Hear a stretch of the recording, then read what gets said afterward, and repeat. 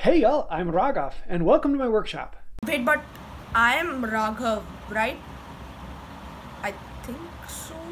Oh, wait, yep, this video is in collaboration with James Wright from Wood By Wright. I'm so excited, let's get straight to it. So, um, we are going to be making a tray to keep butter in. So, I'm thinking maybe something with a contrast of teak wood and pine wood, and that would look really good. So, let's go.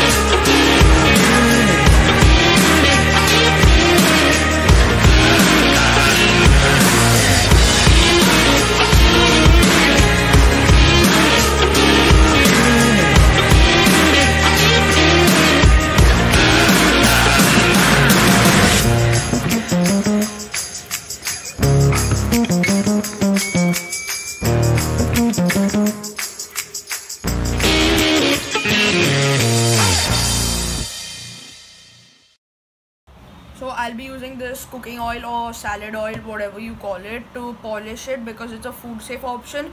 And this is going to be contacting the butter which we would be ingesting, so it has to be food safe. So like this cooking oil would work great. Wait a second.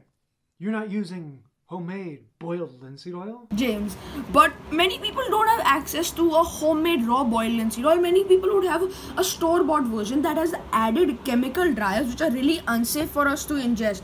Because as I mentioned, we require a food safe polish, but this has chemical dryers which would contact the food and make it really unsafe for us to ingest. So, a cooking oil or something that is food safe that we ingest, like a cooking oil or olive oil, that would work perfectly if you cannot make your own homemade raw boiled linseed oil.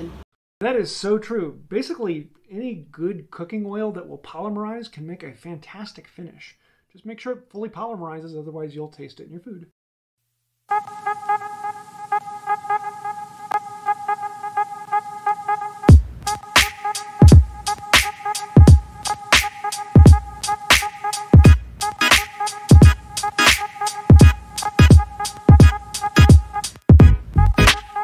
So thanks for having me on, man. This was a lot of fun, and we should do it again sometime.